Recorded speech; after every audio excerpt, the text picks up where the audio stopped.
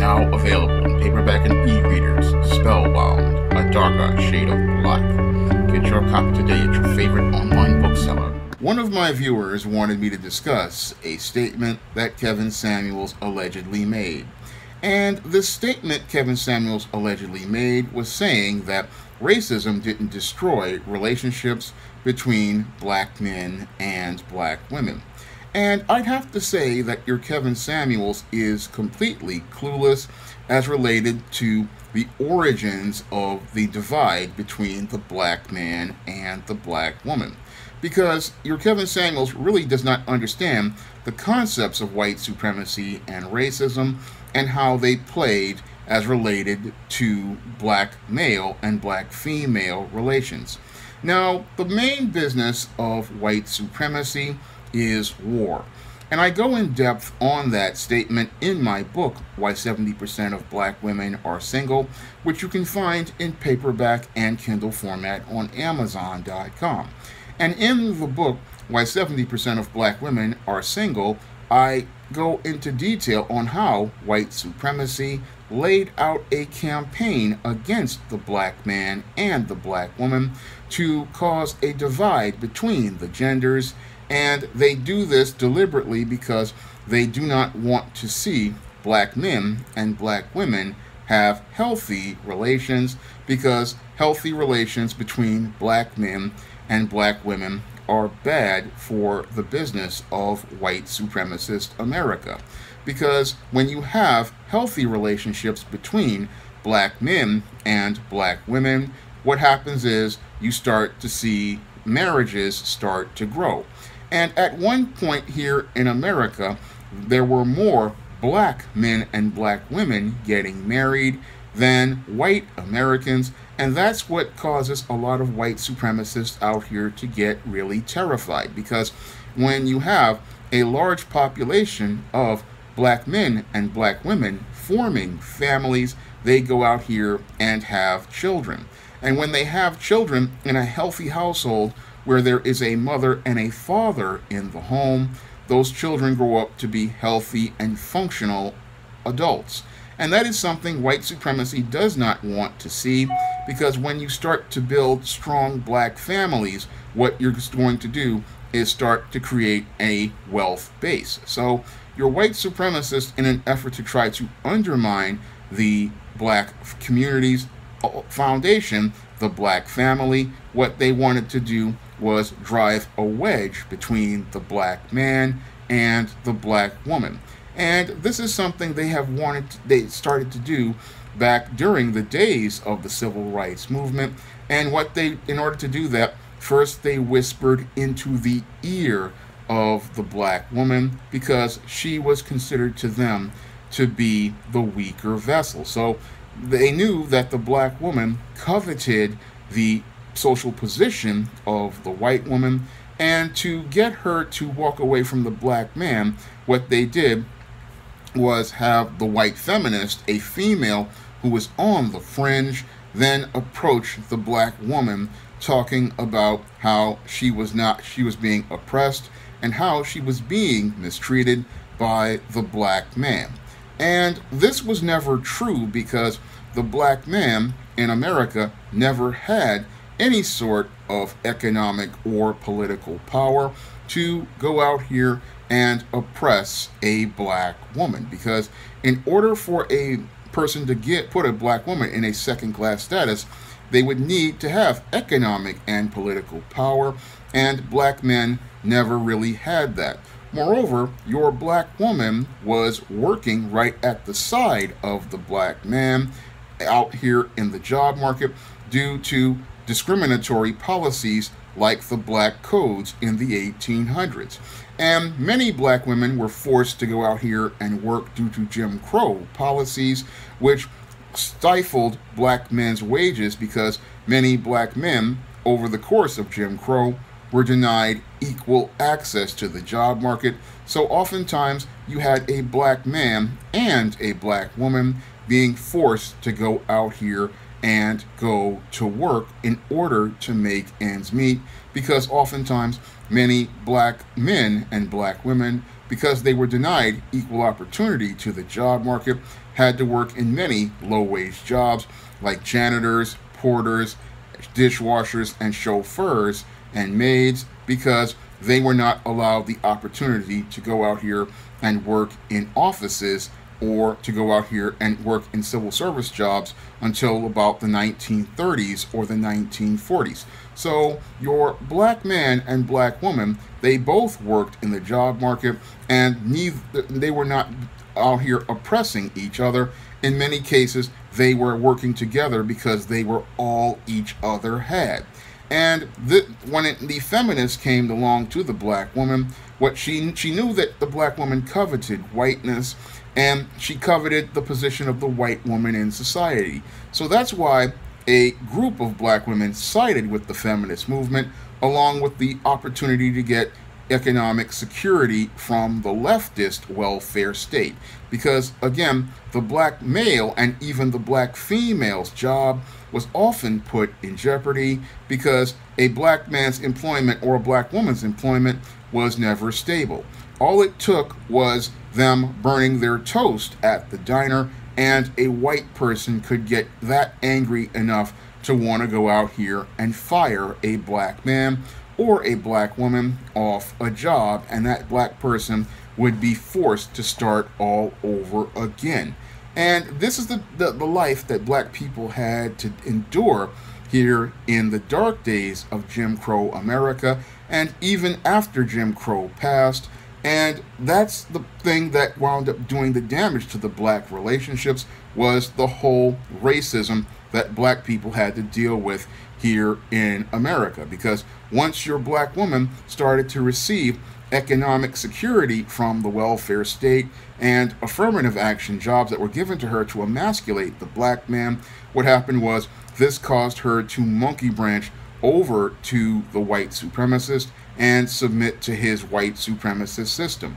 So your Kevin Samuels is wrong when he sits there and says oh, racism didn't destroy black relationships and destroy relationships between black men and black women. No, white supremacy deliberately destroyed relationships between black men and black women. And it did so because they wanted to go out here and undermine the black family because the black family was the foundation of black America. And when you undermine the foundation of the black family, you prevent people from having functional, healthy families. You prevent people from growing into functional, healthy adults. And you prevent people from passing on generational wealth from one generation to the next. So, racism was deliberately done to destroy black relationships and again, they started by going after the black woman because they knew that black women coveted the white female social status and they wanted to be on the same level as the white woman.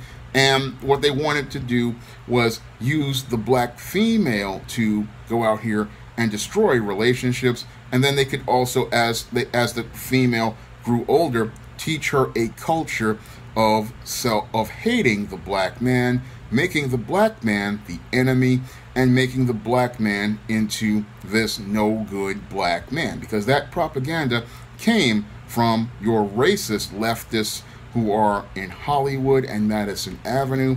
They wanted to go out here and push the narrative that the black man was a deadbeat, a black man was irresponsible, he was incapable of being a father and a husband. However, these same people, when, as they were pushing this propaganda, were actively looking to deny a black man, a heterosexual black man, access to jobs by manipulating programs like affirmative action to benefit white women and black women and make it where the female would have to tell the lie that the female had to provide for herself because the man would not go out here and do it. However, many black men like myself, we wanted to be employed. We want to go out here and take and, and be able to have be a part of the middle class. We want to be out be able to go out here and have healthy relationships with black women.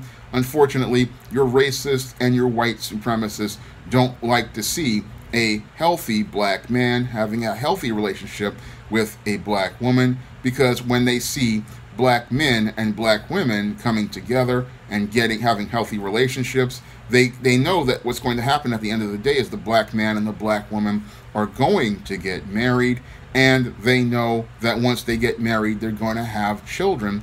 And this is one of the things that scares your white racists. The same way that your Egyptians were scared when the Hebrews were in Egypt. Now, the Hebrews, when they came into Egypt, they were growing in population, and what terrified the Egyptians was the fact that the Hebrews became such a large population of people that they feared that they would rise up and then take over.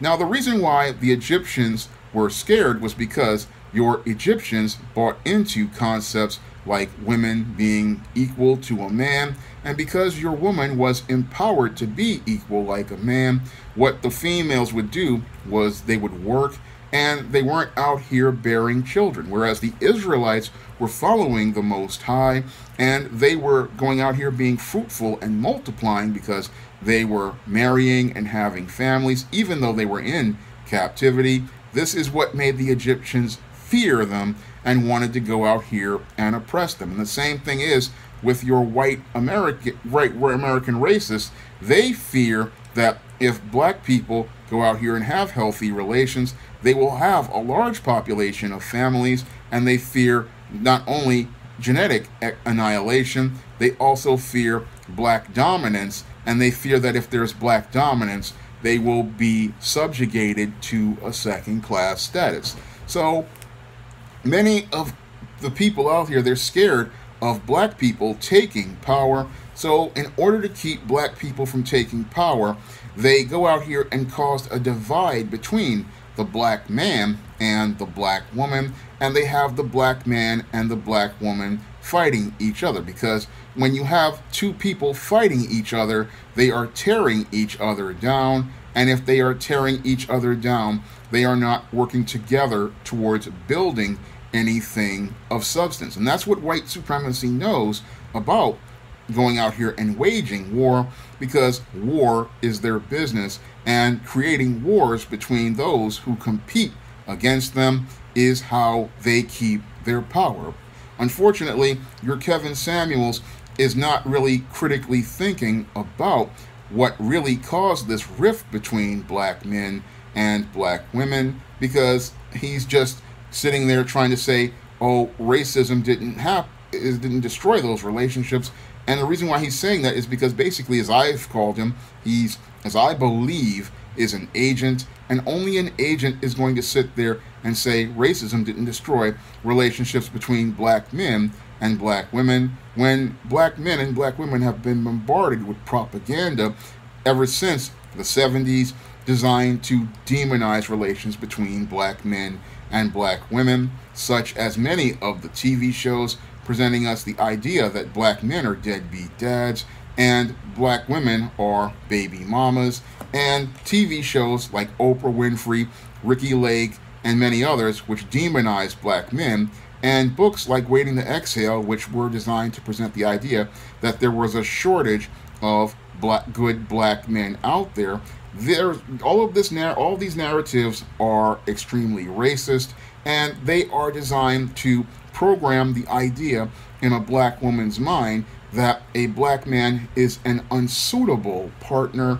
However there are many black men out here who are willing to be suitable partners and if given an opportunity to compete in the economic workforce fairly you would see a lot more responsible black male fathers out here, and there are a lot of responsible black male men out here who want to have healthy relationships with black women, but you have guys like Kevin Samuels who make their money on black dysfunction, and they need to say, tell lies that racism didn't destroy relationships between black women and black men because this is how they make their money and this is how they can go out here and push these kind of gaslighting narratives, even though there are clearly facts that show us that racism was used to destroy relationships between black men and black women. And this was, again, deliberately done by design because your white supremacists do not want to see healthy relationships between black men and black women. I mean, your Kevin Samuels, I want to show him some of the media that's out here that shows you whenever you see a package with a white person, the family is all there, but on the package of a black pro of the same product with a black person, all you see is a single mother. You can't say that oh racism didn't destroy black relationships when you see those kind of products because in the case of the white family or the non-black family you get to see a mother a father and children but in the case of the black product, of the same product with a black person, all you see is the black woman. And you can even see this in images like your Rolling Stone presented recently as related to the George Floyd protests. That's another sign of how racism was designed to destroy black relationships because in that image you have the black female shown leading her children without that black father in the picture. And again, if you don't, if you, all this evidence is right in front of us, but your Kevin Samuels is in denial if he's sitting there thinking, oh, racism didn't destroy black relationships. No, racism did destroy black relationships because even after slavery and your Jim Crow, the black family was intact and people wanted to have healthy relationships with each other in the black community until your white feminist came and whispered in the black woman's ear and told her that if she joined their movement and helped bolster their numbers, she could be a part of white society. And she and also you had your bootlicks like your black pastor going along. So and he's always been known as a historical sellout. So your Kevin Samuels is absolutely wrong on this point.